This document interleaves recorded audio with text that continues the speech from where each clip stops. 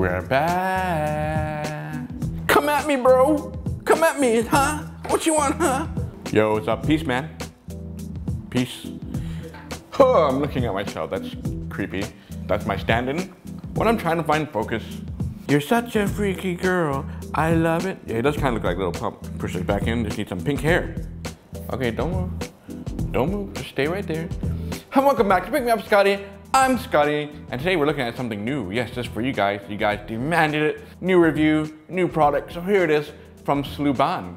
This is actually my first Sluban brick review. So Sluban has been around for a while. They've done plenty of other sets. They have tons of themes. They used to steal ideas from Legos. Apparently now they're doing original stuff. So mad prop to them for trying something new.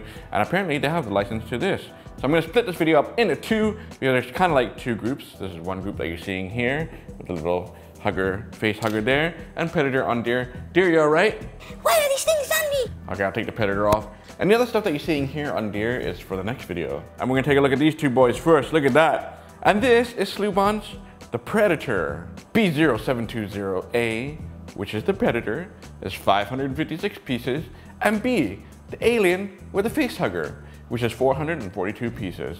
Now each one of these are sold separately, but this kind of belongs in one group here. And the other group is more like battlefield style stuff, helicopters and tanks, fun stuff to play with. This is more like the figures. So we'll jump into the Predator first. Let's take a look at it right now. Deer will put this on your face just like that, because that's how they do it in the movies. Get it off me, please. Now, from my understanding, Sluban is notorious for having like loose pieces that fall apart on other sets. We're gonna see what this is like and see if it does fall apart or not on us. Now, the first thing is I do like the scale and the size of the figure. I think it's quite nice. It's not too small. It's not too big. And as for moving loose pieces, there are a couple on here that are loose. I'll get to those in a second. But for right now, let's just take a look at it, at him. Are you him or are you her? I don't know.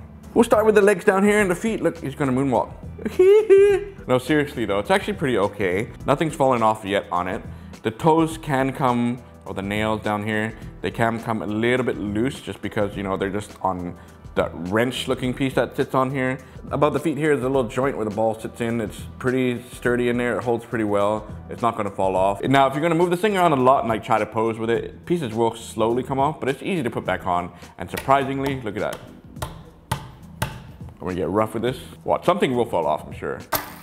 Two things fell off, three things fell off. So yeah, when you build it for the first time, it's actually held in place pretty good. But when you start moving around, I'm doing all these close-up shots, sometimes I start to see things fall apart a little bit more. And you know, you gotta get in there, be really patient and just kind of snap things back together. These pieces here on the back of his legs can fall off pretty easy, so be, be careful for that. And you should be okay. So just a fair warning, you know, it's not gonna be totally fully playable. You got his nice thick thighs there. All these things that you see, the patterns on his whole body everywhere, most of those are stickers. Surprisingly, the sticker quality was pretty okay. I had no problems with them. They look really good. They actually look like they're kind of part of the tile. I do like his little tail back here. It's got a lot of patterns there going on. Those are all stickers, by the way. And we'll keep moving our way up. And then along his waist here, He's got these two little circular symbols. I'm not quite sure what they represent or mean, but you can move them back and forth, and you can even rotate them if you really wanted to. Then we come up to his chest plate, his armor. Looks really cool to me. I don't have a problem with that. Again, those are all stickers along the front. I probably could have put them on a little bit nicer. And then we come to his arms. Now the shoulder pads are probably the only things that can come off really easy. Yeah, see? They just come off like super easy because it's just sitting on like one single stud up here. See, watch just like that. The arms do articulate, and just one thing here that the arm can come out a little bit easy because it's just being held like that. There's nothing really there to really hold it down securely, so that could pop out on you. But look, you can be like, yo, what's up? So from his arm to his elbow, you got more movable joints here. It moves in and out. And he's got all these fingers. Look at all the fingernails on there. Cool, you can pose them. You can like keep a little fist there going, Arr. So that's cool. Arms, legs, knees, everything can move. Just be really careful because when you do move in, it might pop out here and there, but it is posable and it'll hold in whichever position you like. If you want to put the arms out like that, he might fall forward. So we're gonna bend his knee a little bit and then be like, sing to me. And then maybe move his butt there, see? I just posed him and it's holding up okay. Can open up his fingernails here. And be like, yes, yes. And the thing that I like the most about him is of course his face and his hair. Let's just rip his face off and just take a look at this sucker. Pull it off there, look there. See, put that off. Look at his head. It's actually really cool. You know why I like it? I love the hair part. Look at that. It looks like a crazy spider thing going on. It's just like the film, right? Now the only downer for me for this is the face. It's one piece. That's the Predator's face, it's one piece. Doesn't look like a brick piece to me. I kind of wish that the face was more brick looking. Now the good thing is that you have this whole play area here. You could probably actually make your own face on there, just kind of like the Statue of Liberty that everyone's talking about, like replacing the face and using bits and pieces to fix with that. Okay, now that we got his head back on, this is actually really neat too. He's got a little gun back here. Yeah, shoulder gun. Pew, pew, pew. If you're a fan of Predator, for sure, this thing's actually pretty cool. Just my only issue being the face and a couple of these pieces that are a little bit loose on him. But you know, if you're not gonna move it everywhere, it'll be fine. And I do like the hand here, it's really cool. They have a weapon here. This is like his blade, right? I gotta go watch his movies again. I haven't seen it for so long. And you can probably take that off and, you know, put a flat piece there if you don't want him to have a weapon coming out. And speaking of weapon, he does have two weapons here. We have this star, this ninja star looking thing. I don't remember him using this in the film, but I guess he did, right? I can't remember these things. And he comes with this spear, and the spear is a little bit loose because it uses like gun pieces here on the edges, and it's really loose. It can pop out quite easy like that. That's kind of loose. Yeah, but I wasn't really focused on the weapon too much. And it has a little stub here, or stud that sticks out. And it's supposed to stick along his hand here, but the spear is a little bit heavy. If I put that in there, he'll hold, but if you flip it upside down, it can fall off. It's holding, or you might want to just close his fingers here so it has a better grip on it and be like, charge. Yeah, the socket from the arm can get loose pretty fast. When it's in there, it's snug. It's really weird. It's like when you start moving it around, it'll fall off. Let's attack the alien. Speaking of alien, let's jump into the alien right now. Right, there? You okay over there? I thought we were done with this. Get it out of my face. All right, all right. We'll be right there. We're gonna slide the predator out of the way. Okay, for the alien, the proportion of the body itself to me feels a little bit off. It feels more like a puppet now. It's like, I don't know what it is, man. The knees are too big, the head's too small, the hands maybe too big. So to me, the scaling is off. The Predator scaling looks a little bit better to me. The Alien, however, is way more durable. Nothing's gonna fall off this guy. Look at that. Super secure. You can totally pose the tail. Now I've had the tail in here this way because, you know, that's how they do it in the, in the, in the posters and the promotions for Aliens. Really. Come on, man, it's H.R. Geiger, or Giger, however you say his name. He was a sick man with so many creative, crazy images. Even that, look, that looks really wrong. Like, yeah. Okay, man, anyway, it's cool, man. It's totally posable.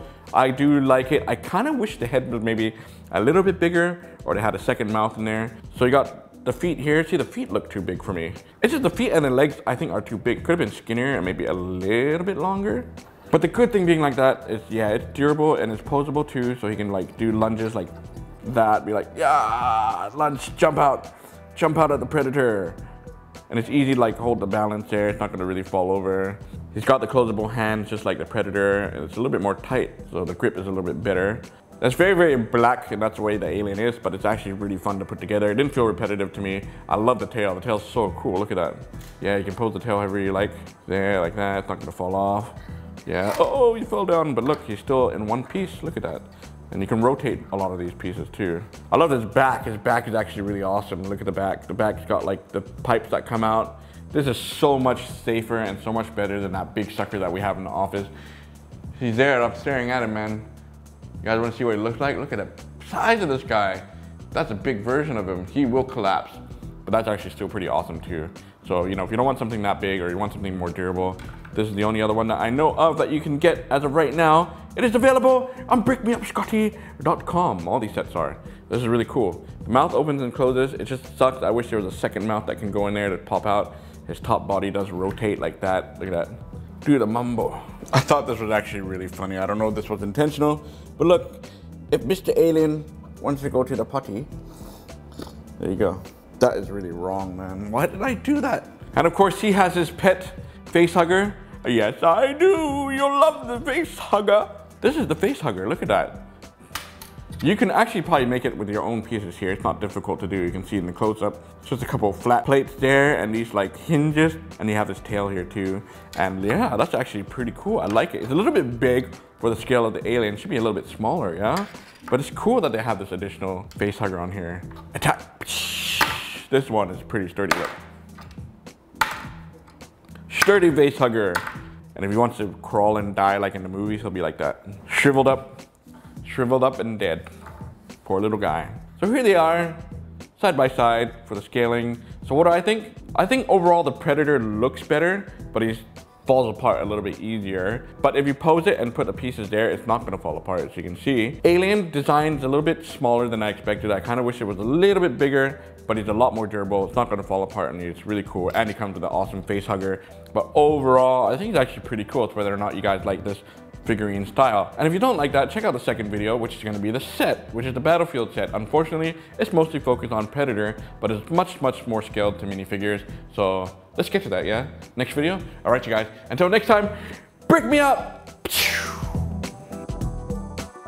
Look, he's dabbing. Can do the Fortnite dance. You can shake his hand like that. Go, hey, how's it going? Oh, your hand fell off. That's the farthest you can sit down like that. No, I'm falling apart and everything's falling off me, my arms.